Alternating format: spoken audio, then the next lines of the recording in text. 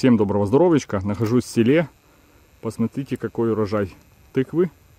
Вот на этом небольшом участке больше сотни плодов. Но сегодня пойдет речь не о тыкве, а вот в этих вот двух деревьях. Это сливы.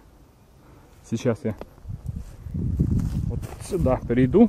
Правда, у нас сейчас восход, сходит солнышко. Возможно, будет светить не в камеру, поэтому снимать будет не очень хорошо. Это сливы, которые имеют и свою историю. Историю краткосрочную, несколько буквально десятков лет, о которой я хорошо все знаю.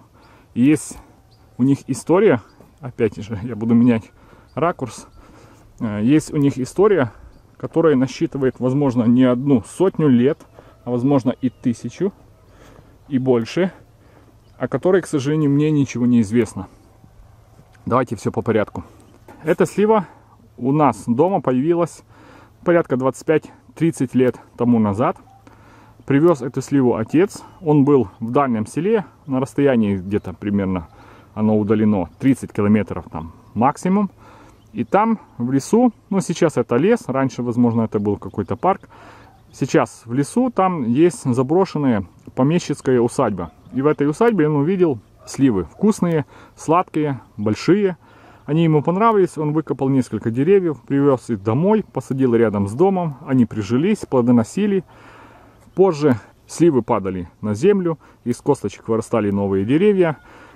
Их мой дедушка выкопал, посадил вот здесь, на краю огорода, потому что здесь вот еще частные участки, а вот здесь поле. И эти сливы тут росли, плодоносили. Первое поколение слив уже отжило свое, их выкорчевали. Это уже второе поколение слив. Вот этим сливам там порядка до 10 лет. Вкусные сливы. Сейчас я вам покажу плоды непосредственно. Вот. Это, кстати, кстати, хочу сказать, что это, эти сливы уже отплодоносили. Они уже отходят. Вот слива лежит. Слива сладкая, потому что ее едят интенсивно муравьи. Вот смотрите, что за сутки со сливой сделали эти насекомые. Попробую сейчас сорвать, если у меня получится найти. Потому что я, повторюсь, сливы уже отошли. Оп. Вот такая слива. Одну нашел. Ну, есть, здесь валяются. Я видел, вот, смотрите. Это уже все. Раз. Вот, видите. Вот, есть лежит. Смотрите, какая слива в земле. Это чуть покрупнее, а, а вот эту я сорвал только что. Давайте. М -м. Косточка отделяется. Когда слива уже перерастает, она уже такая, знаете, очень спелая. Я не скажу, что это слива медовая, но она не не имеет кислинки, такая легкая, легкая где-то намек. Когда она очень созревает, она становится такая чуть-чуть даже суховатая. Я думаю, что из этой сливы получится отличное варенье, даже повидло. Возможно, и джем какой-то.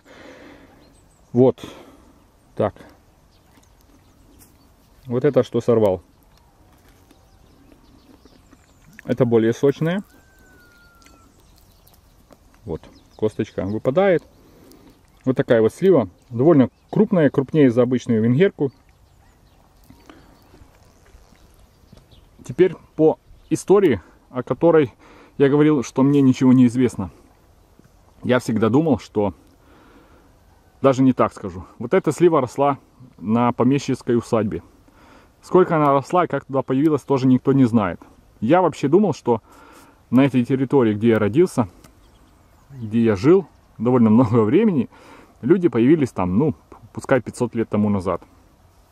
Но в силу той информации, которая дошла до меня буквально вчера, вчера местный черный копатель, археолог показал мне монеты, причем не одну, не две, а порядка там 7 штук. И это только часть того, что он мне показал, что у него есть. Монеты римского периода, которые он здесь находит регулярно. Римские пряжки, какую-то сбрую, элементы э, украшений каких-то. И монеты серебряные, он мне вчера показывал, я их держал в руках, римские. То есть, возможно, вот эти сливы, пришли с римскими солдатами, здесь их посадили, они росли, и росли уже не одно поколение, не одну сотню лет. Поэтому, к сожалению, я не знаю, сколько именно этим сливам, но, наверное, они старые. Я так предполагаю. И к чему я еще это снимаю, к чему веду. У этой сливы есть хорошая особенность. Если падает слива на землю, косточка прорастает, вырастает. Вот, например, такое вот деревце. Это косточка, которая проросла из этой сливы. Вот одно деревце, вот второе деревце. То вот эта новая слива абсолютно 100% повторяет материнские характеристики вот этой сливы. То есть у вас получится такая же из этой сливы слива, как и эта. Один в один. Что я хочу осенью это сделать? Смотрите, здесь сколько. Вот одна слива, вот вторая, третья, четвертая, пятая, шестая, седьмая, восьмая. Восемь слив на 50 на 50 сантиметров. И здесь этой сливы поросли очень много. Осенью я планирую выкопать несколько таких вот деревьев и посадить у себя рядом с домом, чтобы у меня были такие сливы.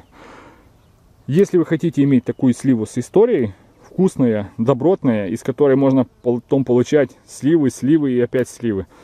Как говорится, есть такое модное слово предзаказ. Делайте предзаказ, осенью я вам накопаю без проблем, но вам нужно жить на территории Украины, потому что за рубеж послать дерево, к сожалению, не получится. Вот такая вот история, вот такая вот слива. На сегодня это все. Спасибо, что смотрели. Увидимся. Пока.